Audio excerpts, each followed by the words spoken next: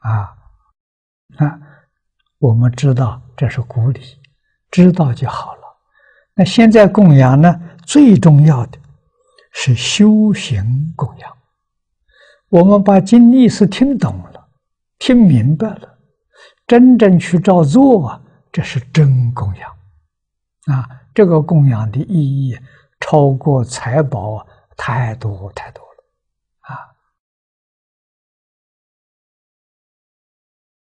因为我们希望佛法能够兴旺啊，兴旺呢要靠我们修行，修行的人越多，佛法就能兴旺起来。啊，这个供养再多，佛法兴旺不起来。啊，昨天我们已经学过很多了，嗯，今天我们再接着学第四条：忏悔业障。忏，梵语，啊，巨音忏母。我们中国人。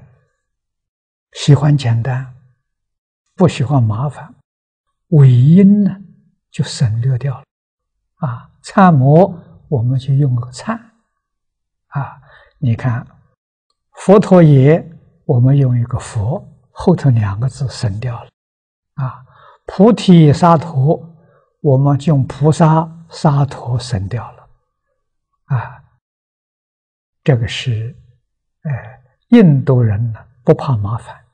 中国人呢喜欢简单，你看到什么地方要适合当地的状况啊，适地适合当地的人情啊，就会受到当地人的欢喜啊。这一点我们要知道啊，该省的要省略掉。印度话叫参谋。翻成中国意思叫悔过，啊，叫华严悔过。经言忏悔呢是华梵兼具，啊，这是翻译这个名词，一半是梵梵语，一半是中国字，啊，名词就忏悔也是华梵会。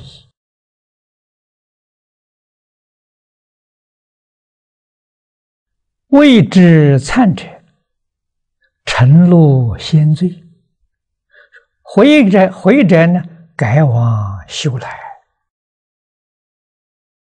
这讲忏悔它的含义啊，梵语忏母，这个意思是在大众或者对着老师的面前。把自己做错了的事情啊，能说出来，这叫忏。